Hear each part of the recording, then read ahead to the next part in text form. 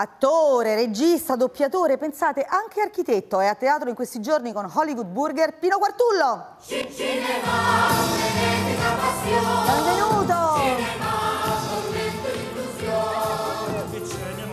Piacere, molto, molto lieta. Ci diamo i polsi. Non lo so, io non so più cosa fare perché io darei pure la mano, però poi sembra maleducato se non dai la Sì. mano. Che c'è scritto su quella cravatta? 32 dicembre. Perché? Non l'ho scritta io, l'ho comprata che era già fatta così. Ah. È carino però, un giorno, un giorno immaginario. Ti piacciono un po' le follie? Come un po' l'anno bisestile, no? C'è il 29 febbraio, c'è anche il 32 dicembre. La canzone che abbiamo appena ascoltato tu la cantavi con Monica Vitti, Esatto. di cui sei amico. Certo, Ecco. sono stato allievo in accademia e poi dopo, da- dopo l'accademia lei ha fatto una trasmissione televisiva, Passione mia, e, e io ho portato un po' un gruppo di attori dell'accademia, miei amici, e abbiamo fatto con lei questa trasmissione in cui facevamo una sitcom con lei. Ti va di rivederla Rodi. insieme? Un pezzetto? Magari. Dai, vediamola. Ecco, con le mogli. Adesso vi presento i miei primi allievi. Eccoli qui. Questi, questi ragazzi hanno formato una compagnia da due anni che si chiama La Festa Mobile. Dino! Hemos a Los Angeles. Dino! Sono chiuso all'Italia e vengo fino a America e facciamo business. Dino! Un proverbio! Chi lo fa? La Getti. Sì, buonasera. No, scusate, facciamogli vedere il balletto come facevano loro, se no come fai a indovinare? Sì, sì, dai, io faccio Z. Vai, Ecco. vai così. Eh. Beh, eh, fa schifo, eh? Proprio schifo. Eh, Zed non faceva così, e, per- faceva così. Perché? Come faceva? Eh, faceva, faceva, adesso non me lo ricordo, ma faceva una cosa come... Va bene, va- Fai. Sì. C'è tutto può essere. C'è pure una capra, ma un cavallo non è questo. Certo, quelli erano in due. Eh, davanti, dai, va. su, su. A quanto stiamo? Eh, 612. Campa, cavallo. Finito questo cavallo, basta! Che ricordo hai di lei? Beh, lei è stata eh, una persona che subito in accademia ci ha considerato come dei professionisti e, e ci, ha detto- ci ha insegnato una cosa fondamentale. Ha detto, guardate che io quando ho cominciato non volevano farmi fare teatro perché ho questa voce particolare. Che poi è stato il suo Eh, tratto distintivo. esatto. Ha detto quindi voi, oltre a imparare la dizione ed essere tecnicamente a posto, dovete anche scoprire quali sono i vostri difetti, le vostre caratteristiche. E quindi io subito ho capito che poi, anche perché ho avuto un altro grande maestro che è Gigi Proietti, eh, ho capito che dovevo un po' ironizzare sulla mia fisicità e quindi prendermi in giro e mostrare le mie debolezze, le mie insicurezze. E quindi su questo ho lavorato e ho fatto un po', questo è stato un po' il mio clown, come si dice in gergo. Che di- poi è una regola anche utile per la vita, no? Che non bisogna... Beh, non- sì. eh, alla fine tutto questo è molto vero. Dicevo architetto perché tuo papà che eh, ti voleva architetto, Era ingegnere, ma diciamo lui voleva... tu ti sei laureato in Sì, architettura? sì, sì, ho fatto un progetto di un teatro però come tesi di laurea. Beh, lui era ingegnere, pensava che scherzassi quando dicevo che voleva fare l'attore, anche perché era molto grosso, no, ciccione. Sì? E quindi pensavano insomma, che era una follia giovanile che poi sarebbe passata. Invece quando mi mancavano pochi esami, per finire architettura me ne mancavano cinque, ho provato a fare l'esame al laboratorio di proietti, l'esame in accademia e mi hanno preso sia al laboratorio che in accademia. Quindi quando sono arrivati i telegrammi mi ha detto bene, da adesso in poi ti mantieni da solo a Roma. Ho detto come faccio? Ho detto ma papà ti giuro che continuerò a studiare. E quindi io facevo accademia, laboratorio e ho fatto architettura e ho finito. Ecco, e anche con proietti ti vediamo in un bel medley, come si dice. no? Ah, Vai. bene. Patrizia! Pino! Sandra! Allora, eh, Pino, tu che dici che, che- che c'è adesso? Eh, come vedete, volevo presentare ai telespettatori eh, la voce del telefono, loro non l'avevano visto, ovviamente. Eccolo qua.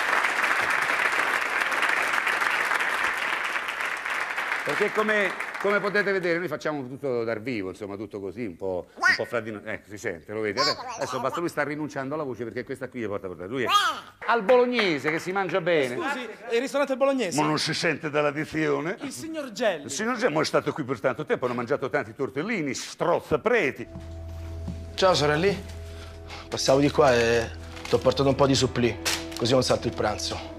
Scusi, eh? Sono il fratello di Sonia. Ah, piacere, Bruno Palmieri. Palmieri... Giornalista, sì. Ah, che onore. Se non ti dispiace, grazie per il supplì, fammi lavorare. Scusate, vado via subito. Ci vediamo più tardi. Arrivederci. Peraltro di, mh, di Gigi, eh, tu come tutti gli allievi hai un ricordo umano molto potente, so che vi sentivate, che lo avevi sentito anche poco prima Sì, di avere eh, la orribile notizia della Sì, sua lui- è stato anche il mio scomparsa. testimone di nozze, pensa quanto eravamo poi. E pochi giorni prima purtroppo che se ne andasse mi ha chiamato, ci sentivamo ogni tanto, mi stavo facendo la spesa, e mi ha detto senti ho avuto un'idea per fare una parodia di Cime Tempestose in pugliese. Come? Cime Drap Tempestose voleva fare. Quindi ci siamo messi a ridere con le lacrime mentre facevamo. Quindi fino agli ultimi giorni è stato sempre un bambino che si divertiva, un grande professionista e sempre fantasioso, sempre alla ricerca di, di cose nuove, di cose divertenti. E quando andavi a cena con lui ti raccontava mille film, mille, mille storie che avrebbe voluto fare. Noi sapevamo che poi non avrebbe fatte perché ce n'era troppe, Eh, però era bello ascoltarlo e poi fino all'alba ti teneva in piedi con i suoi racconti, con le barzellette, con appunto queste idee pazzesche che gli Ma venivano. dimmene una, tipo, a parte Cime di Rapa Tempestose. Voleva fare l'Otello e, e Iago doveva essere, ma- lui doveva essere un giocatore di calcio e Iago era il massaggiatore del giocatore di calcio. Iago è, spieghiamo Il chi non lo cattivo, sappia, no? il cattivo quello che si inventa, il fa, inventa il tradimento che, la non esiste. Desdemona abbia Esatto. tradito Otello. E lui voleva ambientarlo oggi con un calciatore e il massaggiatore era Iago. Ma ti dico, ma tantissime idee straordinarie. Chissà che qualcuno prima o poi non li riprenda tutto in mano. Dovresti, dovreste farlo. Io magari, avevo eh. scritto, pensa, un film, avevo scritto il soggetto di Toto. Sai che c'è Toto sta liqueso nella sauna, no? Che, quel personaggio che lui fa, che- Sì. famosissimo, col- con, la- con l'asciugamano, Eh. che si è liquefatto mentre faceva la sauna. Io ho scritto il soggetto per la storia vera di lui che pensavano che questo Toto si fosse liquefatto nella sauna e invece eh, l'avevano portato via con gli asciugamani e quindi però raccoglievano il liquido, lo portavano alla madre e gli dicevano guarda ecco qua, è una cosa un po' folle. Ma che meraviglia. Senti, eh, poi nel frattempo ti sei sposato, appunto, le Sì. mi hai detto, hai una figlia con Elena Sofia Ricci, Certo.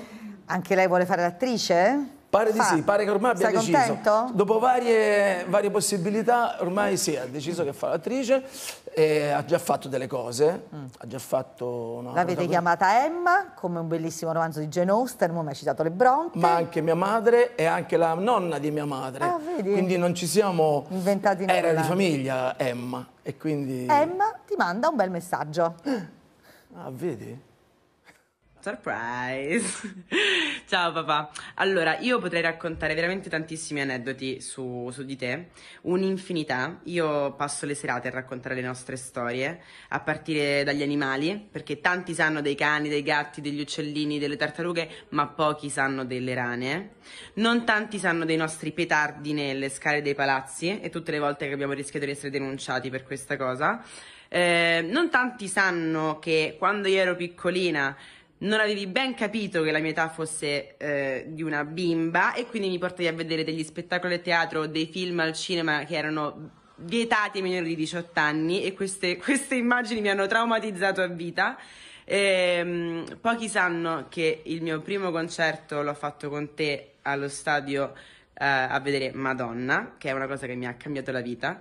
E tu con tutte le tue follie, papà, tutte le tue, eh, le tue creazioni e le tue idee, mi hai fatto sempre tanto ridere, ma mi hai anche reso la persona che sono oggi e ti devo veramente tanto. Grazie, ti voglio bene. Ciao. Bella Emma. Ti sei commosso Eh. un po', eh? Mm, mm, sì, un pochetto. Perché lei peraltro è bellissima, Simpatica. intelligente, Sì, sì. simpatica. Vabbè, anche la madre comunque era molto simpatica, è simpatica, quindi comunque dove prendeva, prendeva bene. no? Molto carino che tu lo dica, perché poi è, insomma, beh, lei è una donna straordinaria, è una Sofia Ricci e so che vi siete lasciati in ottimi rapporti. Sì, anche perché ci sta vedendo, quindi è, Ah, sì? è bene, non posso che... Vienici a trovare, ma che non è vero. Vedi l'attore, il clown che esce fuori. con le- No, beh, probabile, no? Che cosa? Che vi stia vedendo? Eh sì, perché no? Sta in tournée, sta a no, Firenze. Dico, esce fuori questa cosa divertente che tu dici, hai detto, hai fatto questa battuta, parlo bene di lei perché ci sta No, vedendo. certo, eh. scherzavo. sì, Ma sì. certo. Parlerei bene comunque. Ma certo, dai, so- lo so che è una, una battuta da Siamo da- una famiglia da allargata che si vuole bene, tant'è che al matrimonio, Si può fare, eh. al nostro matrimonio c'era Proietti, ma c'era anche Elena Sofia con suo marito, con, un'altra figlia, quindi eh, che è una prova anche di, di apertura, di intelligenza di mia Certo. moglie, che è Margherita Romaniello, che è una donna straordinaria e che appunto ha consentito che l'ex venisse al matrimonio, che non è una cosa di tutti. E vabbè, vuol dire che tu sei anche capace di rassicurare per le, le- Sì. ci vuole- vuol dire che lei è intelligente e che anche tu l'hai saputa rassicurare. Certo. Parliamo di Hollywood Burger. Ah, bene. Hollywood Burger lo sto portando in scena con Giobbe Covatta Uh-huh. eh, ed è un, ehm, un testo di un autore italiano e racconta invece di due attori americani che stanno alla mensa eh, di Hollywood, degli studios, che ricorda un po' quel bar che c'è a Cinecittà, non so se tu hai sicuramente visto, dove ci sono degli attori che stazionano, che stanno lì, che aspettano di incontrare i registi, sperando in una parte. Ecco, noi abbiamo fatto questi due, abbiamo portato in scena, stiamo portando in scena questa storia in cui lui nella sua vita è stato sempre tagliato, qualsiasi film abbia fatto, e io invece ho fatto dei ruoli in cui non ero riconoscibile, perché ero eh, l'ominide che tirava l'osso in 2001 di Stia nello spazio, il pianeta delle scimmie, lo zombie e anche lo spermatozoo nel, nel film di Woody, Woody Allen, tutto quello- quello, che avreste voluto sapere. successo. Quindi e l'altro dice "Co- come, come ti senti? Hai fatto sempre parti pelose, come ci si sente a interpretare uno spermatozoo? Quindi un testo molto Come ci divertente. si sente a interpretare uno spermatozoo? E beh, eh, ci si sente al centro del mondo, è l- il centro dell'esistenza umana. Poi non l'ho mai interpretato, ma certo se dovessi interpretarlo con Woody Allen sicuramente sarebbe uno spermatozoo molto spiritoso, molto ironico, no? Beh, mi ricordo quello del film e lui diceva pronti andiamo, si va! Esatto. si buttano Sì, tutti. sì. Vabbè, e quindi quando E poi poi- sarete in giro ovunque? Sì, quindi? saremo a Bologna, al Teatro Duse, andremo a Modena, staremo a Latina questo, questo fine settimana e poi a Cervi e poi riprenderemo eh, il prossimo anno e poi la prossima stagione, speriamo di farlo a parecchio Andate a teatro perché è giusto andare a teatro, ricominciare a vivere, riportare la cultura nelle nostre anime perché è un vero nutrimento. Grazie Pino Quarturo Grazie per a voi, essere grazie stato tantissimo. con noi.